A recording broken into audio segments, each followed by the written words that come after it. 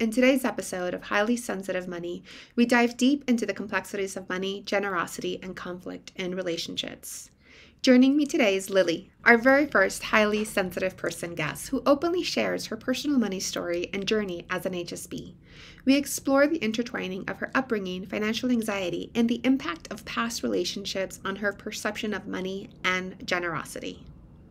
Lily shares her experiences of feeling the need to be financially independent, the impact of past financial abuse, and the challenges of giving and receiving without feeling beholden or taken advantage of. We uncover how being highly sensitive can shape one's relationship with money and the difficulty in finding a balance between independence and interdependence. We delve into the vulnerability that comes with being generous and receiving generosity, exploring the internal dialogue around motives and expectations. Lily reflects on the difficulty of trusting oneself to navigate financial interactions and the impact of societal trust in uncertain times. Our conversation leads to a moment of clarity for Lily as she recognizes her own patterns and beliefs around money, paving the way for personal growth and self reflection. We discuss the capacity to tolerate conflict when it comes to money and the potential for healthy conflict resolution in relationships. Lily is an actor, writer, and comedian who has toured her full comedy tour, The Lily Show, to DC, LA, and Atlanta. You can find her on Instagram at Lily Kerrigan Presents or on YouTube as Lily Kerrigan. Lily, I'm so excited to have you here joining as our first guest, as our first highly sensitive person guest who's willing to share their money story. I was mentioning that I'm so grateful that you're taking the time to to share about money because it's such a private topic and also to share about what it's like for you to be an HSP. Lily and I met at a at a mindfulness group for women. It was virtual during the pandemic and since then we've just we've got, gotten to know each other. We met in person finally about a month ago in Atlanta and that was lovely and that's where we started talking more about HSP. So, so welcome, Lily. Welcome. Thank you so much for having me. I'm so happy to be chatting. Me too. I'm excited to have you have you on and happy Thanksgiving. We're recording the day after Thanksgiving. Yes, happy Thanksgiving, happy Black Friday. Yeah, it's a good money. It's a good day to talk it's about money. It's a good money, day to right? talk about money, yeah. and finances and why we spend what we spend and yeah. So let's get started. Do you want to share a little bit, like, where do you want to start? Do you want to start talking about what it's like to be an HSP or your money background? Where does it feel most natural? Well, I think I can kind of intertwine them because I think for me growing up, my mother had come from poverty. Essentially, the way she describes it is that they always knew they would have food, but there was never any extra. And that was the childhood she grew up with was like, there's not extra, there's not a feeling of abundance. There's just like, we can meet our needs and we're grateful for that. She managed to move up in class. I had like a, a middle class background and a middle class life, but she still carried a lot of that generational anxiety and and that trauma i think because i was such a sensitive little kid i picked up on that in a way that maybe not everybody would because you know, I never had to like worry about not having enough food or anything like that. I think my parents did, were certainly not trying to instill any type of financial anxiety in me, but because I was just sort of aware that money was like always always a scary thing and that like it could go away at any time and that I also developed a sense early on that like if you had the money, then you could make your own decisions and if you didn't then you couldn't. And I think because of my own various pathologies, and I think some of that is being very sensitive to being told what to do. That's a big thing for me is that like I want to be in control and I want to, you know, be able to be in control of my own destiny and my own fate and everything.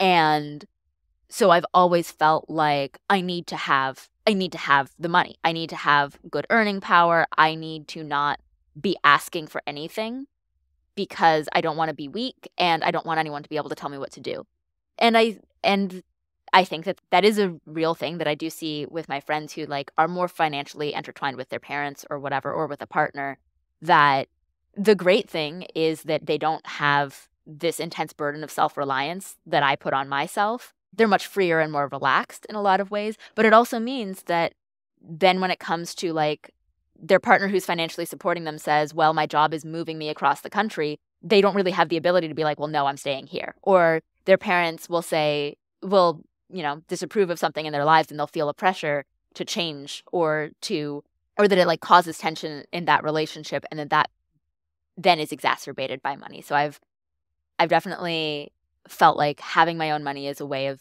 knowing that I won't ever have to bend to anyone else's whims. I also was in a very bad, very scary relationship for a few years. And one of the things that he would do is he would like take money from me. Um, he sometimes by like putting my credit card in on his account, he would just like sort of steal my information, or he would just say like, "Well, I'm not going to be paying rent this month, so you got to you have to pay for both of us." It was a very like financially abusive as well as abusive in other ways relationship. I think in that relationship, which also informed a lot of my anxieties around money and anxieties generally, part of the way that I could protect myself from his like mood swings and his outbursts was by giving him money. Because he would sometimes that would be the way he would start a fight is he would say like I that he would complain that he didn't have enough money in part because his mood swings made it very hard for him to keep a job that he would often like quit impulsively and stuff like that.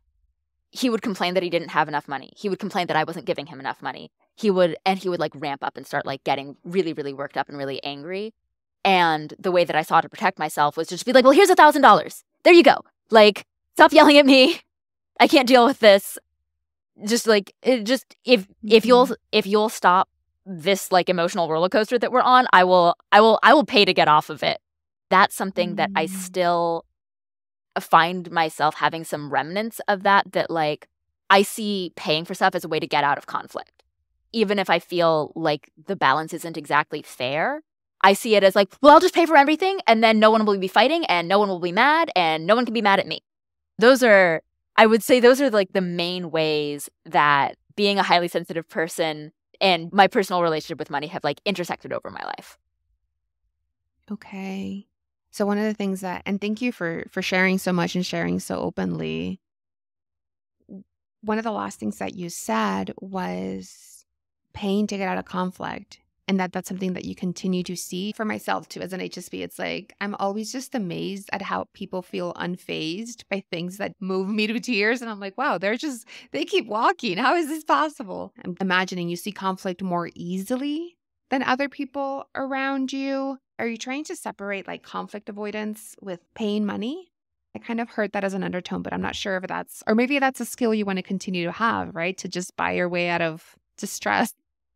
I think it's sort of twofold that I'm I I am working on getting to a place where I am capable of tolerating healthy conflict. There's sort of a natural bell curve that like some people really thrive in high conflict environments and some people mm. are a little more conflict avoidant or want to find ways that everyone can win. I've gone so far to the end of the bell curve that I find it hard to advocate for myself. That's something that I'm working on that not that I necessarily want more conflict, but that I want to have tools in my arsenal other than just like, whatever, everyone else can have what they want. I don't care. I'll just go into a corner now. You might have the same thing that because conflict takes so much more out of me than it does out of the average person, that there's like a really strong incentive to, to avoid it. That other people seem to sort of be able to bounce back from conflict a little more quickly. Like they sleep it off or they go on a walk or whatever, and they're able to like let it go. And I find that I'm much more likely to like ruminate on it and carry it and feel like I need to change my behavior in the future so that this never happens again. I don't know if you feel the same way. No, it, it is it is true. I definitely find myself like if there's a potential for conflict, I tend to avoid it. I tend to isolate. Um but I hadn't thought of how having money could be a way to avoid it. And that the situation that you were describing with your ex-partner, that's that's definitely financial abuse. It was, yeah. Yeah. I'm very thankful that I'm like seven years away from that relationship. But one of the things with abusive relationships is you keep sort of discovering layers to the abuse. When you first get out, you're just like, this is amazing. I'm no longer an active danger. This is wonderful. Then you sort of spend a lot of time kind of peeling back all the layers of like, oh, well, that was kind of messed up. Oh, that was really messed Wait, that's not how normal people behave.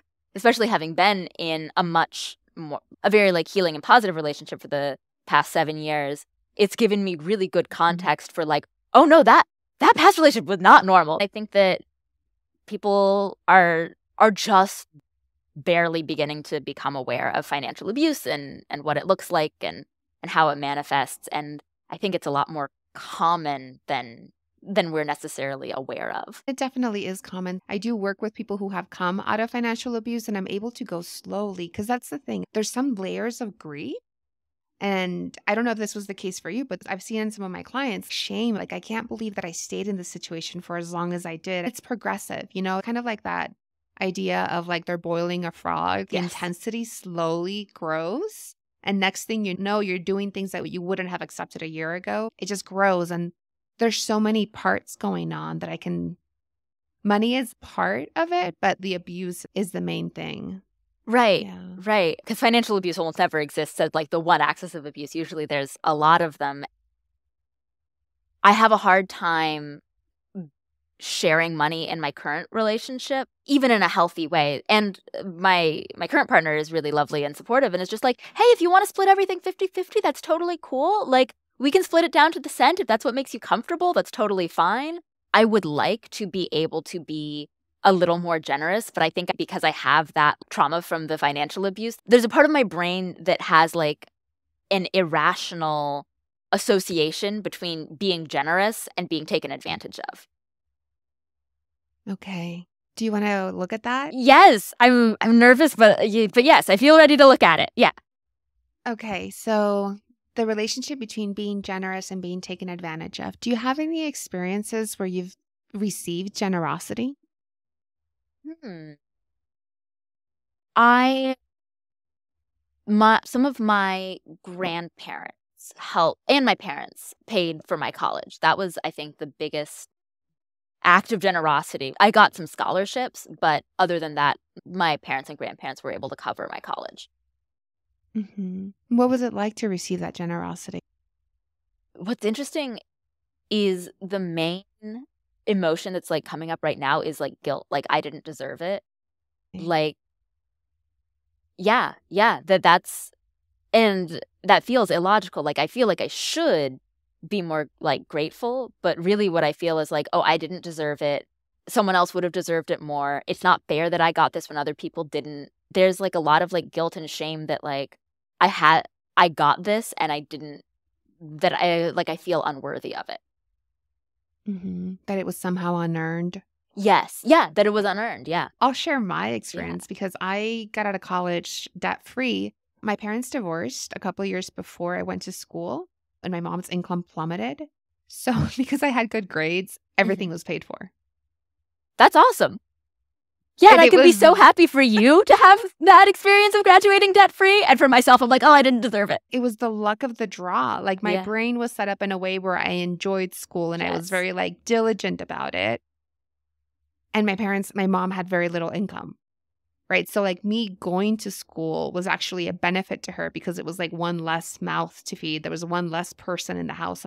The whole experience of of knowing that I didn't I didn't do anything specifically great to have this good thing handed to me, that sensitivity to inequality, I wonder if it has to do with being an HSP, but I also wonder how it can continue to affect the way that you see receiving generosity and giving generosity. If you're sensitive to the problems in the world, then you're going to be sensitive to wealth inequality and the fact that some people get more than others and it's not fair, as opposed to people who aren't looking at the world critically or aren't sensitive to those issues are much more likely to have their blinders on and be like, well, I got this because I deserve it.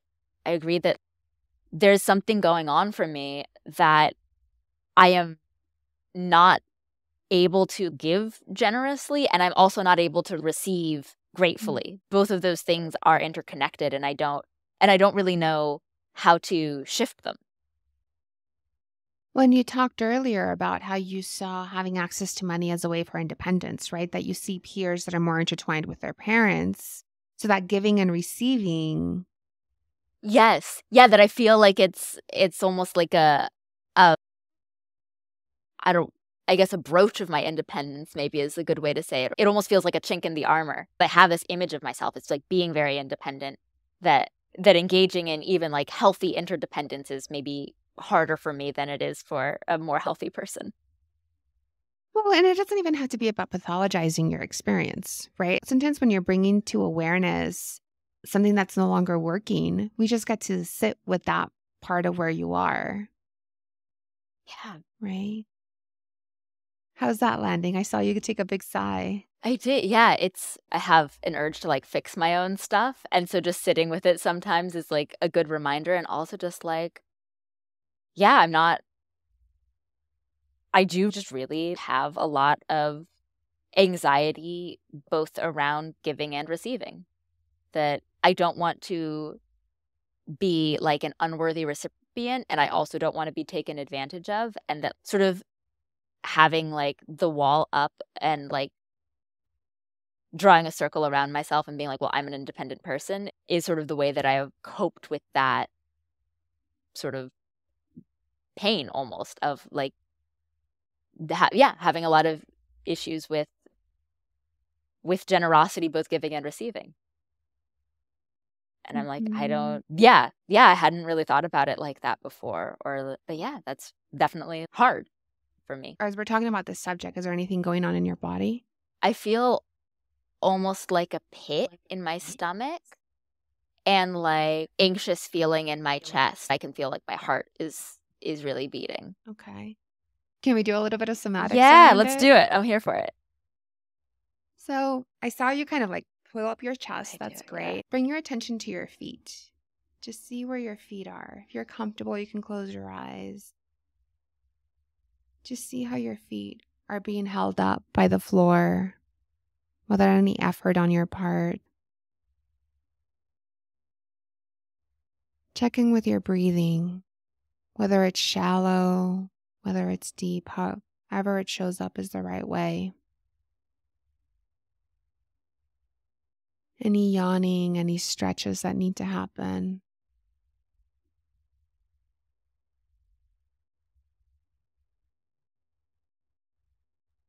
That's great. That's a great sigh.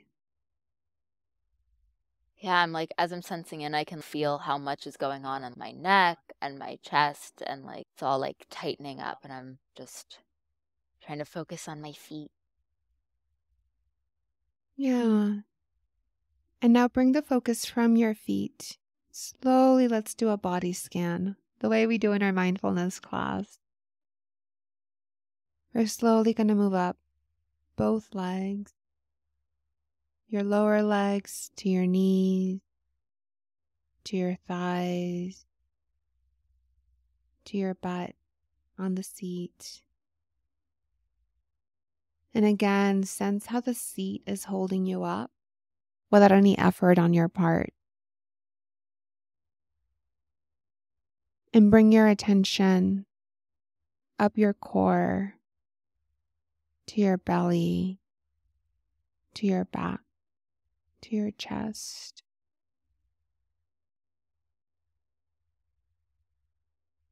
We're now going to bring the attention down your shoulders, to your arms, to your hands. Check in with your hands to see if there's any kind of tension there. It's often where we hold a lot of tingly energy. And we're going to jump now to your head. And sense the front of your face. Sense the air on your face. And now let's consider your entire body from your feet to the back of your head. Just have all of it in your awareness. Know that you're here, you're in it. And see what it might be wanting to share.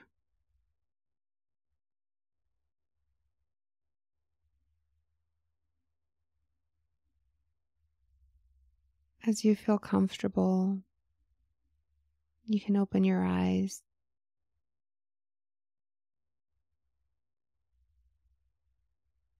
When you said the thing about what does your body want to share, the thing that came over me was this feeling of like tiredness that I am like Mm. tired of having to be an independent entity and not being able to ask anybody for anything.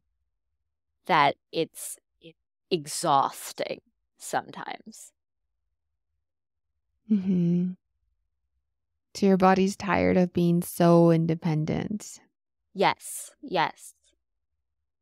And it's tired of always feeling like I have to pay everything back. That some of it is that I realized that another big act of generosity was my partner owns a house, and for a while I was living with him and not paying rent. And I felt like I had to do a lot around the house, like clean everything and declutter and reorganize. Like I did all the cooking and everything, all the grocery shopping, because I was like, oh, I, I have to pay this back. Like I can't just receive it. And I think that's another thing that's coming up is I have to pay everything back and just always have feeling I have to do that is just so tiring. I I never get to just be like, wow, that's so nice that someone did that for me. Thank you. It's exhausting sometimes.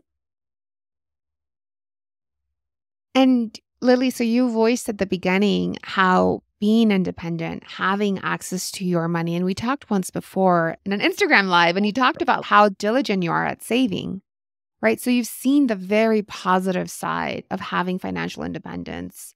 And it looks like you're hitting a place where you're looking at the the exhausting side of being independent.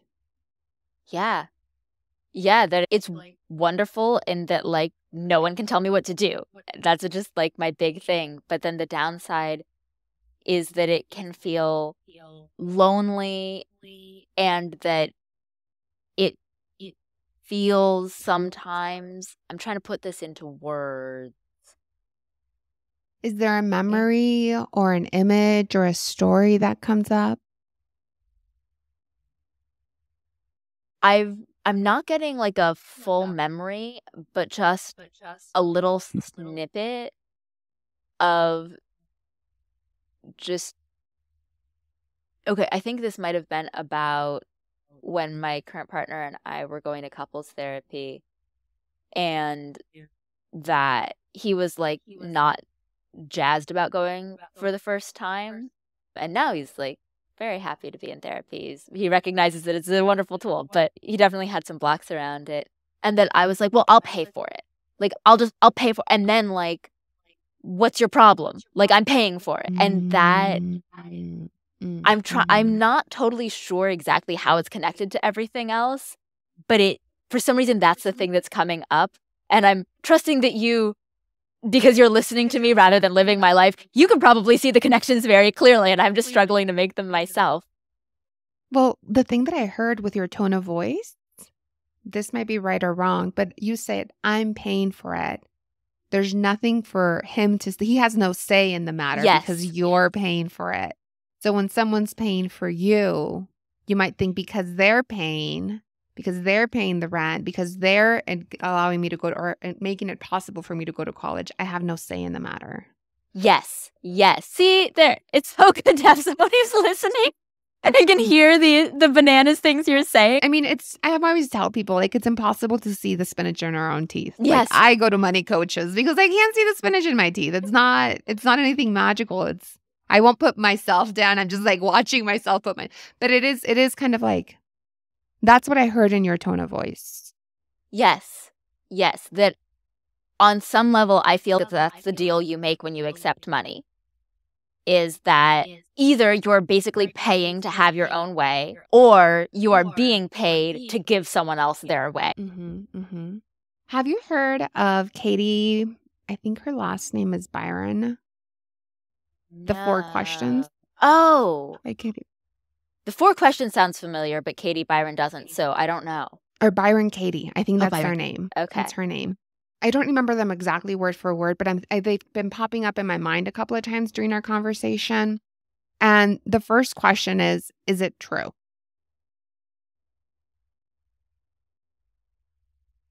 Is it true that when someone pays for you, you have to do what they're saying that you have to do? Is it true that when you pay for someone else, they have to do what you're telling them to do? Is it true that payment takes away the other person's agency? It's not a hundred percent true. Like definitely so, when you lay it out in black and white, it's not a hundred percent true. But there's a part of me that does really feel it's a little true. It's maybe like 5%, 10% true that you do give up some agency when you accept money. Well, when you accept to be someone's partner, don't you give up some agency? That's a good way of thinking of it. Yes, that there's a difference between agreeing to engage in mutual decision making versus giving someone else their way. Mm-hmm. And that's a good way to think of it that, like, when you accept money, you might have to engage in some mutual decision making, but that it is still a process of engagement rather than of domination. Than coercion. Yes. Right? And it and it makes sense, like given the the financial abuse that you had in your previous relationship, right? And also that that like small theme of scarcity that you grew up with of like money's scary, money has to be like you have to have your independence. It makes sense that now it's coming up and you're it seems like you're outgrowing the more black and white thinking around interdependence. Yes, yeah, I am and of course because all things are connected, this is also something I've been working a lot in therapy is that I have kind of the same thing emotionally that I can be very much like I'm not going to ask anyone to take care of me because then they're going to feel like I owe them something. Or like I'm not, if other people express a preference, like I'll just go with it because it's just not worth having conflict. And so I can now see that sort of mirrored in my relationship with money where I can get very black and white and I can feel like there's no room for give and take. Mm-hmm. And you said it beautifully. I wish I'd written it down. But like when you decide to give to someone, it can be mutually agreed upon. What, what were the words? Do you remember the phrase that you said? Oh, golly. What did I say? I think a mutually agreed upon partnership was maybe what I said. So I don't remember either. But having that be something that you lean towards in your money decisions and your mutual money decisions, how do you think framing it that way? Like like when you're sh- well what about your term what about the idea of sharing right? Because you said that it's hard to receive and it's hard to give. What about sharing? Sharing i'm realizing that in some ways that's also hard like i can split things i can say like oh well we've like we're both eating the groceries, we'll split them 50 50 or whatever. But genuinely sharing is hard for me. That I I have a hard time not keeping track in my head. And having everything split down to like the cent is is a way of like assuring myself like that everything is fair and I'm not taking advantage of anyone and no one's taking advantage of me. But but it's definitely not as like relaxed as some people are able to be in their sharing that like there's a difference between splitting and sharing and i'm definitely splitting. things. I don't know how much i'm sharing and is that something that you want do you want to bring more relaxation into the way that you give and receive I don't necessarily know that I want to change anything about what I'm literally doing in the literal transactions. I would like to not feel anxious and stressed out and neurotic about them. Like, it's not that I necessarily need to do anything differently, but I would like to feel differently.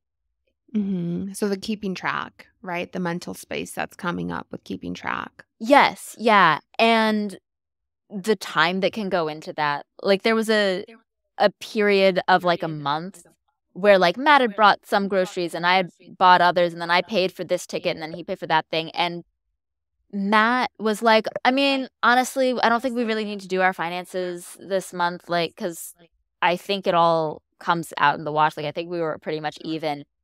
And I was like, no, no, I'm going to do this. And I like, I made my little spreadsheet and I laid everything out and I oh, organized it.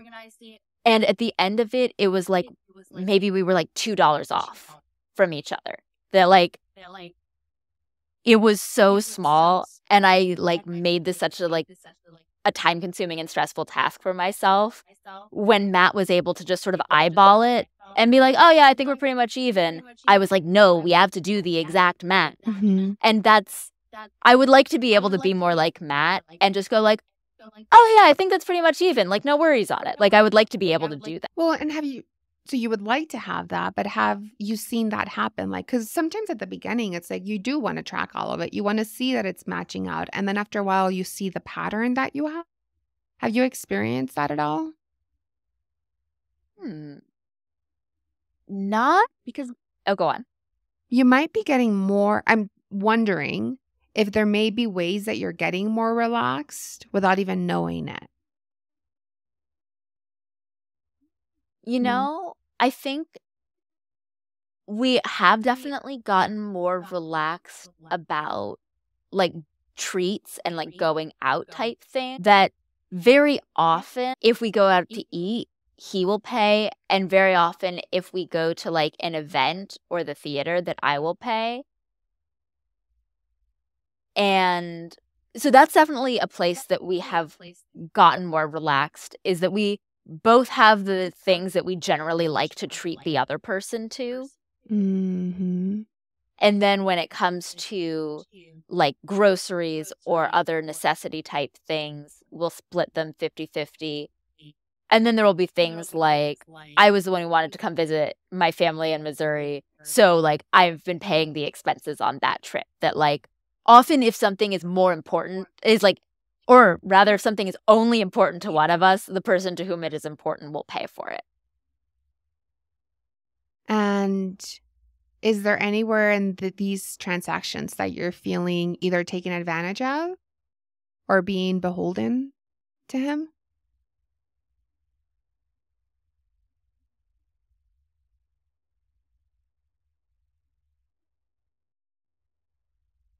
Sometimes I do feel a little beholden if he's bought food. But I also think that like all he really wants in those moments is for me to be excited. And that's something that I can do. Like I'm very effusive with my gratitude and with my praise, in part because I want to be buying, buying me food.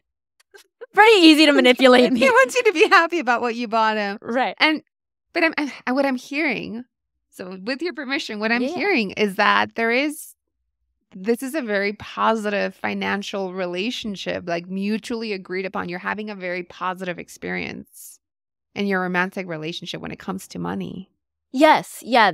He and I are very lucky that we really see eye to eye on money.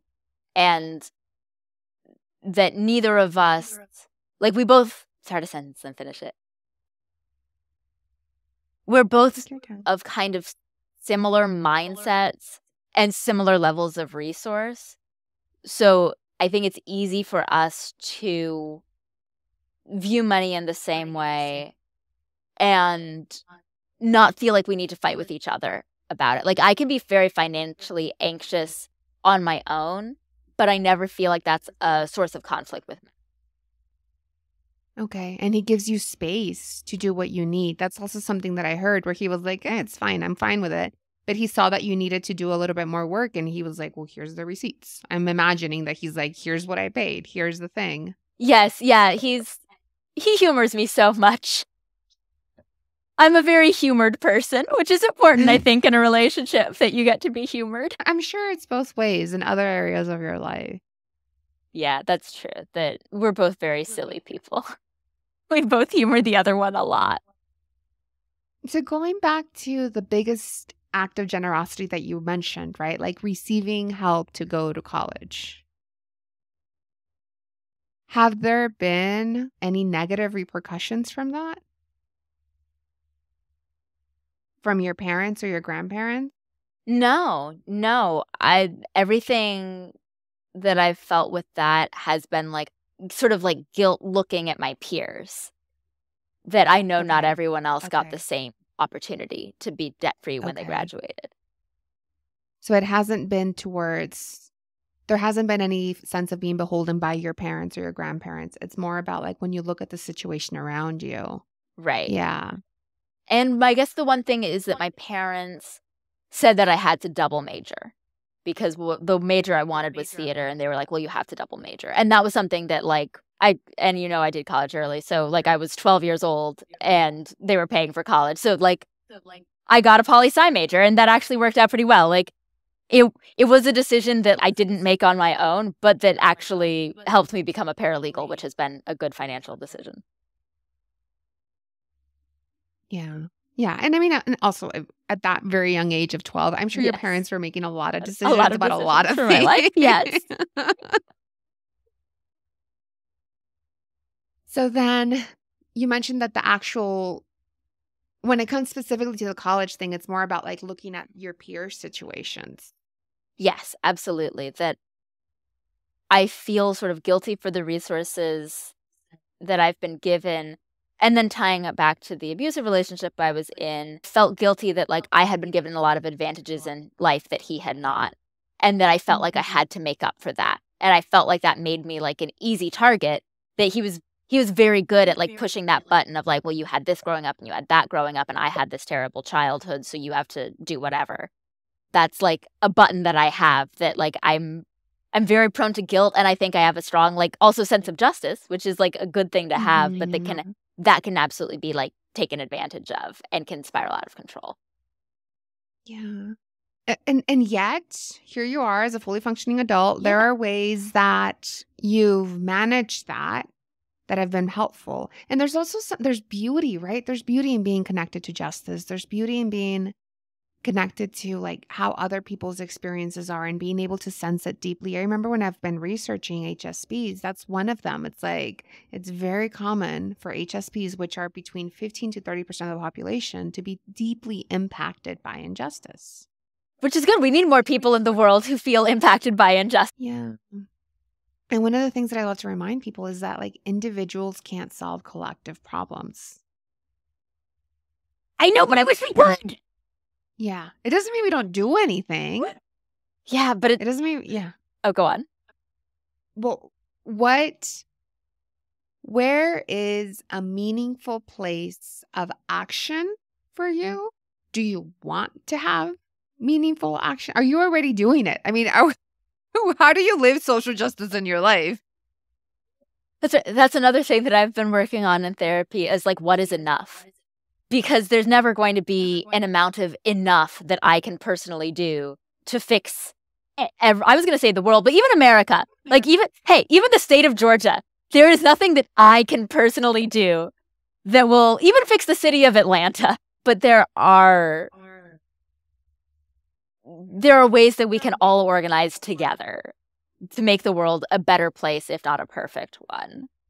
But it's it's hard because you because you want every you want to be able to fix everything. Hmm hmm Well, and there's also like the interdependence that we're being a called to step into, right? I remember, I think it was, there's a book called Decolonize Wealth by Edgar Villanueva, and he's talking about philanthropy. But there's something, I mean, that book was super helpful to me. But there's one portion where he talks about how we often think there's going to be like a savior, like one person's going to come and do something for all of us but really a much more decolonized way of thinking about things or a much more what he calls indigenous for for his culture he's from north carolina and i forget what what tribe he's from but he says like the collective the community experience right? So in your learning to be interdependent with money that interdependence skill is going to be helpful in other parts right? Because that that mind that mental tracking of like how much did each person do it could kind of be I know for myself sometimes i'm like that with relationships of like quid pro quo. If i have a crush on someone and i'm at a salsa place i'm like how many times is he dancing with me? How many times is he dancing with the other person? You know i'm just like Right, tracking it. I'm like how useful is this? I should just tell the person i'm attracted to them you know there's a much more direct way of dealing with this. Yeah, yeah, but it's it's hard. It's hard to really be interdependent. It's like I feel as we're talking about it, like just like this feeling of like vulnerability because I'm because that's what Oh, interdependence requires. Is it oh, requires that you be willing to be impacted by other people. Mm-hmm. And is that okay? Is vulnerability okay? Is that something you want? For people who are listening, you can see that I'm making a big Mm-hmm. face. Uh, And I am It's like- laughing at your funny faces. because it's like, yes, I, like that's good. theory, that's healthy. yes, In theory, vulnerability. In action, no In- armor. Yes. yes. It's like I can say that I want vulnerability, but I'm like, man, when you look at my action, And is that okay? Like, I think. So you, when we were talking about being HSPs, you have so much more experience with like being an HSP and like knowing what that means for you and like the level of armor that's required. yes, yeah, because you sort of have to have like an emotional skin. Like if I don't work to self-regulate and like differentiate myself and like make sure I'm not getting codependent with people, I can like overmerge, and that's and I think in s- the to protect myself from doing that again, I've like kind of gone the opposite direction. And so as we're talking, I'm thinking about like I need to I need to find a way to be able to like walk a middle path. Well, and it's pendulating, right? It's eh, yeah, and you're you're like learning to walk the middle path, even with your willingness to be on this conversation. You're you said you were journaling before this to like get ready for it. There's things that are shifting. That's a good way of thinking about it. That it like the things are shiftable. Sometimes I can get into a very like stuck mindset. Mhm. Um, Me too. but like yeah, you're right. This is all this is all shiftable stuff. This is all stuff that has been shifting without me pushing it.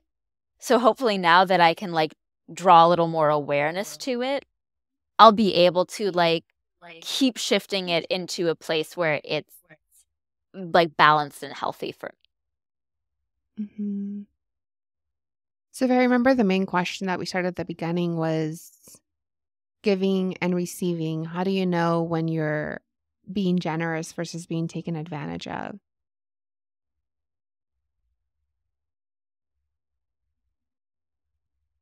And I guess this is like definitely a question to keep exploring for myself. But the thing that's coming up right now is am I giving because I want the two of us to be able to have an experience together? Or am I giving so that I can have my own way? Like when I'm offering to like pay for something, is it because I love your company and I want us to be able to go to this thing? Or is it because I want to go to this thing and I want to be able to like tell you that you have to come with me because I paid for it? Like, is it an Mhm. invitation or is it an order? And do you trust yourself to be able to tell when someone's paying for you and they're demanding something out of it? That is a little trickier for me to discern. Like with my own behavior, I think I can start to check in with myself and use that as a discerning question. With other people, I don't know. It's it's harder because I can't read their Mhm. minds as much as I wish I could. And yet you can trust. I mean, one of the things, what I'm saying here is like when someone offers to do something for you, when Matt buys you food, can you tell what his ultimate aim is? His ultimate aim, well, it's two things. One is he can't resist a good deal. He's like, I got a coupon and we're going to use it, baby. And then the other thing is that he wants me to be happy. Like he wants all the brownie points of me being like, you got me food. This is great. I'm so excited.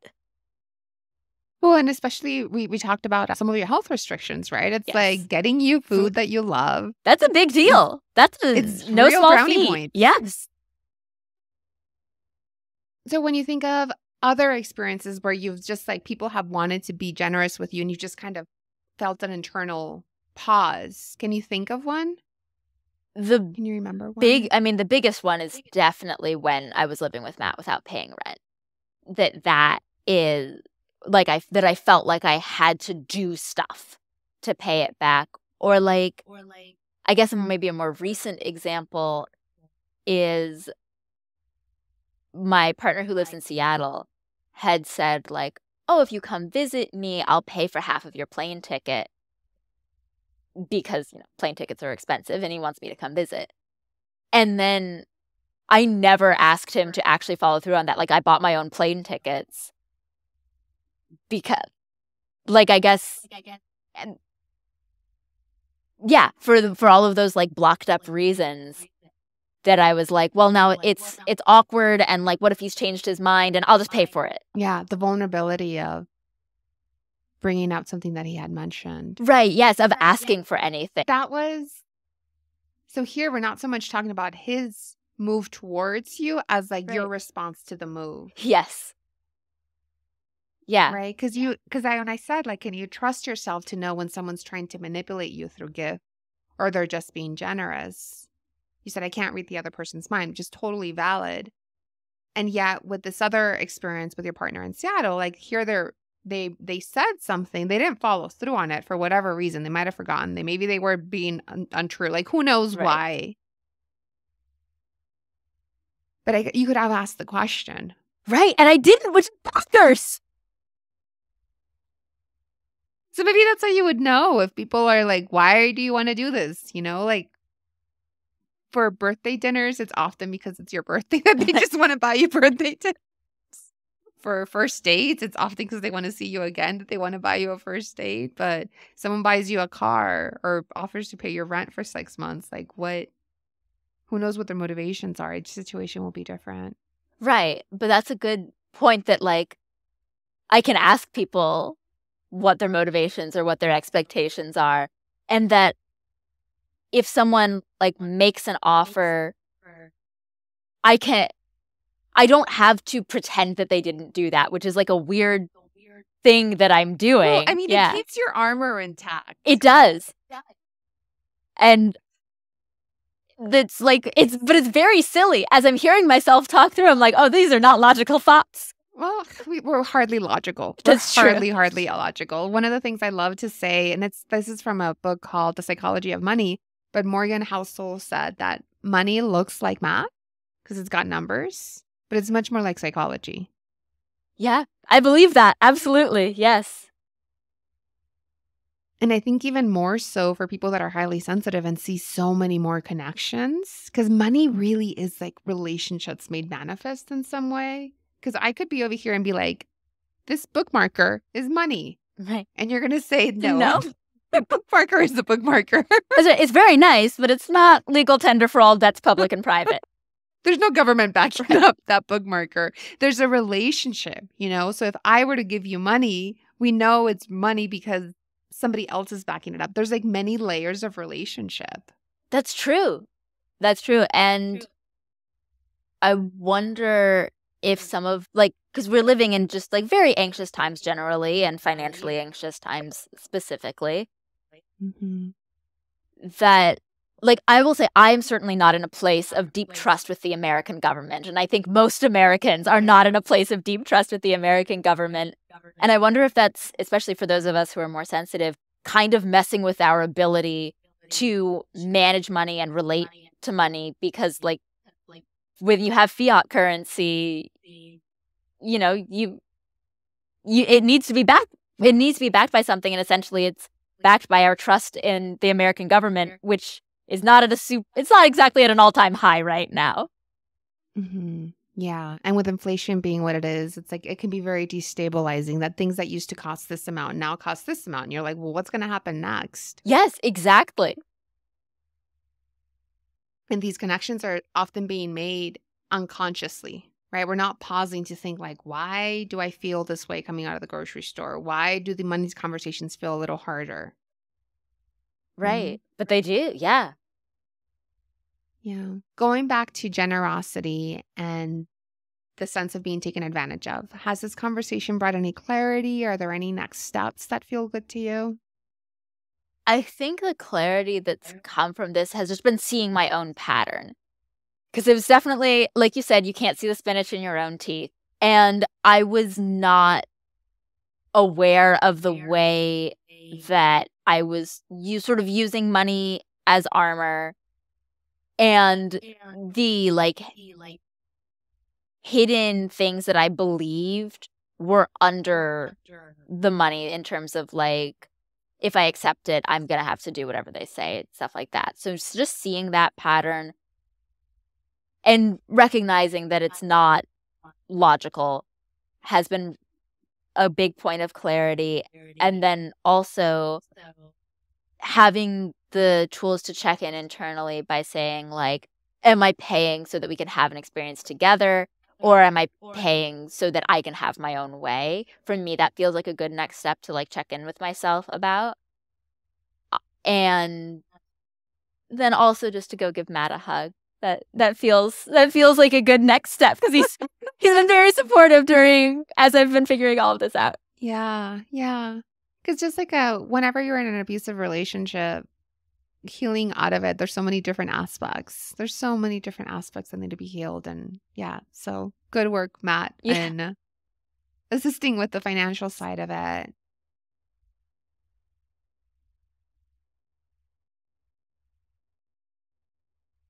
What about the capacity to tolerate conflict when it comes to money? That is something that I have not built a muscle for. Do you have a need for it right now? Not really. Because Matt and I are, yeah, like I said, we just really see eye to eye and we sort of naturally have like the same kind of like saver mindset and everything. But I think maybe a way that I could risk a little bit of conflict and see what happens is I could remind my Seattle partner of the fact that he said he would pay for half of my ticket. Like, hopefully that won't lead to a conflict. But right now, I'm avoiding conflict in a very silly way. Mm-hmm. I feel like we covered all the things. And that they all came back to each other. It all felt very interconnected and very complete. Thank you so much. I'm so honored to be your first podcast guest. Thank you for joining us today. I'm your host, Diana Giselle Yanez. Did you enjoy this episode? Please share this first season of Highly Sensitive Money with others. To learn how you can upskill your money relationship, Join the newsletter over at allthecolors.net. That's A L L T H E C O L O R S dot N E T for network. Take care, and remember, you've got what it takes to feel good about your money.